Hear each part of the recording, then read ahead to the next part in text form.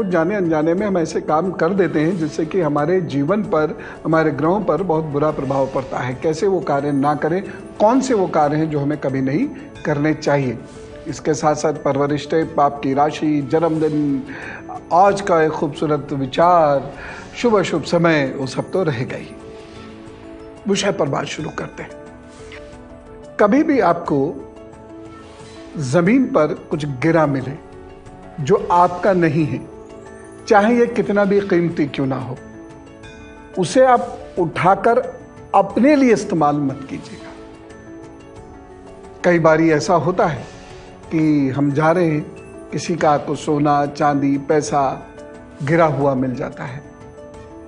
वो हमारा नहीं है और उसका इस्तेमाल करने से बृहस्पति बुरा फल देता है, राहु बुरा फल देता है। सूर्य भी अच्छा फल नहीं देता, नुकसान देता है। तो इसीलिए कभी भी आपको ज़मीन पर ऐसी कोई चीज़ गिरी हुई मिल जाए, अंदर से आपका लालच, आपकी इच्छा ज़बरदस्त ज़ोर मारेगी, लेकिन उसे उठाकर रख ले। कोशिश करें कि जिसका हो उस तक पहुँचा दें। अगर ऐसा नहीं हो पा रहा है तो उसको किसी ज़रूरतमंद को दे दे, लेकिन उसका खुद इस्तेमाल ना करें, वो आपकी नहीं।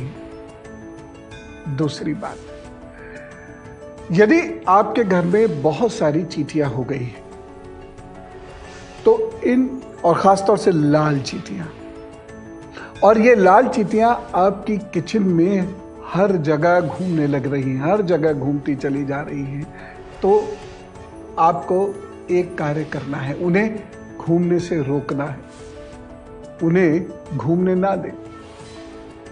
क्या करिए? हल्दी डाल दीजिए। या आजकल बहुत सारी चीज़ें बाज़ार में आ रही हैं जो उन्हें रोक सकती हैं।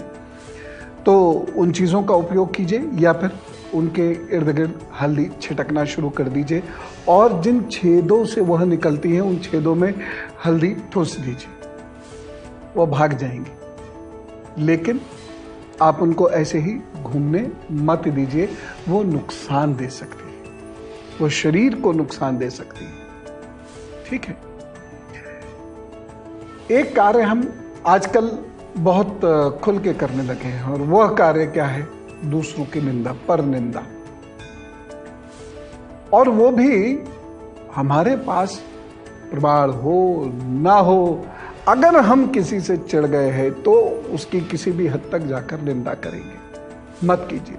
शनि राहु बहुत बुरा फल देंगे, सूर्य कमज़ोर होगा और सूर्य जब कमज़ोर होगा पद पिता प्रतिष्ठा, पैसा, प्यार, इन सब पर बुरा प्रभाव डाल के रहेगा।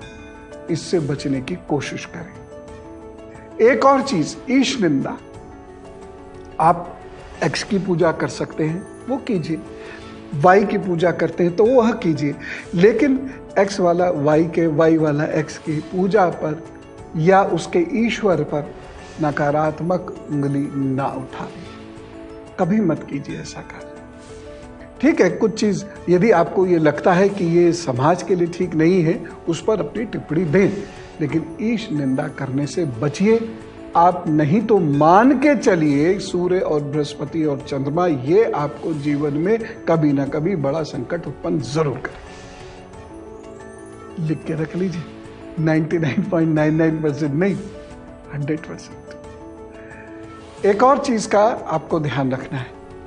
यदि आपके नाखूनों पर बहुत ज़्यादा चमक आने लगी है और आपके नाखून काले से पड़ने लग गए हैं, तब आप उसको इग्नोर बिल्कुल मत कीजिएगा। अपने हार्मोन का टेस्ट कराइए और अपनी लाइफ को डिसिप्लिन करना शुरू कीजिए। अन्यथा ये आगे जाकर निश्चित रूप से बड़ी समस्या देंगे। इलाज भी कराना पड़े तो करा लीजिएगा। देर से ही सही, लेकिन चीज़ें ठीक होंगी। नाखूनों की बात से ही मुझे याद आया कि नाखूनों के नीचे आप देखते होंगे चंद्रमा की आकृति सी बनती है, आधे चंद्रमा की आकृति बनती है। यह चंद्रमा की आकृति जितनी बड़ी होगी उतना अच्छा है। और जितनी छोटी होगी उतना कम अच्छा है। अगर नहीं है तो आपको इसे इग्नोर नहीं करना है। आपको क्या करना है? अखरोट खाना शुरू करना है, प्राणायाम करना शुरू करना है, जल्दी सोना है और जल्दी उठना शुरू करना है। इसे इग्नोर करने का बुरा प्रभाव पड़ेगा। साथ ही साथ इसके साथ आपको अच्छे सोच और विचार वाले लोगों की संगत में बैठना है। ऐसे ही कुछ और बातें। हम बात कर रहे हैं कि कुछ काम कभी नहीं करने हैं, कुछ कामों को कभी इग्नोर भी नहीं करना है, अन्यथा नुकसान होगा जैसे घर में यदि आपके जाले लगातार बनते चले जा रहे हैं तो जाला स्वयं छुटाएँ। और बहुत ज़्यादा जाले यदि बन रहे हैं और आप परेशान हो चुके हैं तो जाला छुटाने के साथ साथ अपने घर में गायत्री का यज्ञ 11 दिन तक लगातार करना शुरू करिए। ठीक है? चीज़ें उसके बाद ठीक होंगी। लेकिन ये यज्ञ जो करेंगे, सामग्री अति उत्तम होनी चाहिए। आम की लकड़ी का ही उपयोग करेंगे तो ज़्यादा अच्छा है। यदि आप पहाड़ों पर रहते तो देवदार की लकड़ी का भी प्रयोग कर सकते हैं। इसके साथ साथ आप खैर की लकड़ी का भी प्रयोग कर सकते हैं, लेकिन आम की लकड़ी सर्वश्रेष्ठ रहेगी।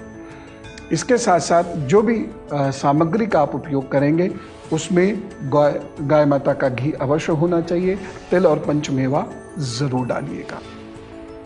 बस, देखिएगा कि जो संकेत है, जाले से फ़र्क नहीं है लेकिन बार बार इसके लगने से जो संकेत है, वो परेशानी नहीं आई। एक और चीज़, टूटी हुई प्रतिमाएँ अपनी पूजा में कभी मत रखिए। भाई, हर चीज़ की एक आयु होती है। कोई भी प्रतिमा हो कोई भी चित्र हो एक समय के बाद टूट सकता है गल सकता है उसमें कोई परेशानी हो सकती है और कुछ नहीं तो किसी गलती से वो टूट सकता है। हर चीज़ की अपनी एक आई है लेकिन टूटी हुई प्रतिमा अपनी पूजा में कभी मत रखिएगा उसकी पूजा मत कीजिएगा। यद्यपि ये बड़ा कठिन है प्यार हो जाता है लेकिन फिर भी मन को मारकर आपने आ, बदलना है। लेकिन एक गड़बड़ ये कभी मत कीजिएगा, क्योंकि ये आपके जीवन में महाअंधकार ला सकता है। और वो ये है कि हम अपने चित्र जो होते हैं देवी देवताओं के, अपने पूजा घर की जो प्रतिमाएँ होती हैं, जब वो ख़राब होती हैं तो किसी पेड़ के नीचे ले जाकर छोड़ देते हैं। किसी मंदिर में पेड़ के नीचे ले जाकर रख देते हैं। ये महापाप है। मत कीजिएगा। करने का अर्थ है, बृहस्पति, राहु, शनि निश्चित रूप से खराब होंगे और जिन्होंने ऐसा किया है अपने जीवन में, वह अपने जीवन का ग्राफ उठाकर देख लें। तो क्या करना है? उसको क्रश कर दीजिएगा। अगर मिट्टी की है तो पानी में डाल दीजिए। हफ़्ते दस दिन वो पूरी तरह घुल जाएँगी। उसके बाद उस पानी को पेड़ों से, पेड़ों में डालकर सींच दीजिए। ठीक है? अगर वो पत्थर की है तो ऐसी किसी जगह पर ले जाइए जहाँ पत्थर को क्रश करके उसका पाउडर बना दिया जाता है। अगर वह शीशा है तो उसको बेच दीजिए, चित्र है, उसको गला दीजिए और गलाने के उपरांत उसका छोटी छोटी इस तरीके से जब आप उसे रगड़ेंगे तो वो छोटा छोटा सा हो जाएगा और उसको यज्ञ में उसकी आहुति दे दीजिए। लेकिन हम नदियों में जाकर फेंक देते हैं, पेड़ों के नीचे फेंके आते हैं, मंदिर के पेड़ के नीचे रखे आते हैं, ये गलती कभी भी भूल कर मत कीजिएगा आज के बाद। मैं आपको फटअप से लेकर मार्च तक का जो समय है, इसमें कोई भी नया कार्य मत कीजिएगा, कोई बड़ा निवेश मत कीजिएगा, कोई बड़ा मंगल कार्य मत कीजिएगा। अन्यथा नुकसान हो सकता है। उसके बाद का समय, यानी अप्रैल, मई, जून, ये समय जो है, ये आपके लिए बहुत अच्छा रहेगा। इसमें आपकी परेशानियाँ धीरे धीरे सॉल्व होने लगेंगी, लेकिन इस वक्त से लेकर मार्च तक का समय ऐसा है जिसमें दिमाग का दही हो सकता है। इसलिए बहुत ध्यान से चलने की ज़रूरत है, बहुत सोच समझ कर चलने की आवश्यकता है।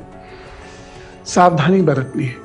एक तो वाद विवाद से बचने की कोशिश कीजिएगा और रिश्तों को बहुत अच्छे से निभाइएगा, नहीं तो किसी रिश्ते में दरार आ सकती है। साथ ही साथ, यदि आप किसी नई जगह पर मजबूरीवश चले भी गए हैं तो बहुत लो प्रोफ़ाइल रखिएगा और अपनी वाणी पर विशेष नियंत्रण रखिएगा, अन्यथा वहाँ आपको परेशानी हो जाएगी। उपाय क्या करेंगे? माता जी से एक चांदी की ठोस गोली आज अपने गले में धारण करवा लीजिए ठीक है? चांदी की ठोस गोली मिल जाएगी आपको शाम तक, कोई चिंता की बात नहीं है। उसे चांदी की चेन में या सफ़ेद रंग के धागे में माता जी या बड़ी बहन या बड़ी भाभी के हाथ से अपने गले में धारण कर लीजिए। इसके साथ एक और उपाय करना होगा। रोज़ाना इष्ट गौ माता माता पिता, गुरु, इनको भोग लगाए बिना या इनको भोजन दिए बिना आप कुछ भी ग्रहण नहीं करेंगे। बस ये उपाय कीजिए, आराम से वक्त निकल जाएगा। ऑल द निवेदन करता हूँ जो आप कभी मत कीजिएगा। और वो है, जब दोनों वक्त मिल रहे हों, तब सोना अवॉइड करें खास तौर से शाम को। मैं जानता हूँ, आज बहुत चीज़ों में बड़े बदलाव आ चुके हैं। बहुत सारी व्यवसायिक गतिविधियों में बहुत सारे बदलाव आ चुके हैं और नाइट शिफ्ट करने वाले लोगों को शाम को सोना मजबूरी है। लेकिन फिर भी यदि कोई मजबूरी ना हो तो शाम को सोना अवॉइड किया कीजिएगा और यदि संभव हो सके तो उस समय दीपक ज़रूर प्रज्वलित किया कीजिएगा अपने इष्ट के सम्मुख। आइए अब जानते धनु, मकर, कुंभ और मीन राशि का हाल। बिना पूछे या बिना आज्ञा लिए कभी भी किसी के जूते चप्पल मत पहन के घर आइए। बड़े बुरे परिणाम निकलते हैं। ये ध्यान रखें हमेशा। कभी कभी अनजाने में भी ऐसा हो जाता है। कोई बात नहीं, नंगे पाँव आ जाए। या सब लोगों से पूछ ले, भाई ये किसके किसके मुझे ये दिक्कत है, मेरे चुर चुके हैं, मेरे गायब हो गए, आपके पहन जाएँ क्या? आज्ञा लेकर पहन के हमें बिना आज्ञा लिए किसी के जूते, चप्पल पहन के घर कभी मत आना।